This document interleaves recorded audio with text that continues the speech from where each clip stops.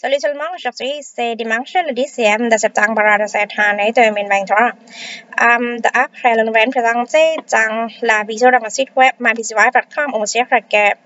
la nouvelle vous fait savoir les efforts des musiciens bénévoles de l'État de Vermont des États-Unis qui se sont manifestés avec leur représentation de musique en plein air sur la pelouse devant le palais gouvernemental du gouvernement de l'État de Vermont des États-Unis, situé dans la ville capitale Montpelier de l'État de Vermont des États-Unis durant le jeudi samedi.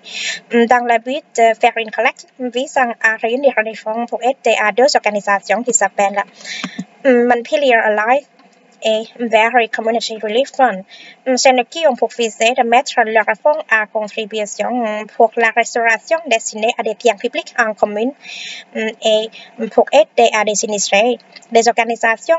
des affaires commerciales locales à petit investissement et des résidents qui ont subi des dommages catastrophiques procurés d'un sinistre d'inondation catastrophique le mois de juillet de cette année 2023 dans l'État de Vermont des États-Unis.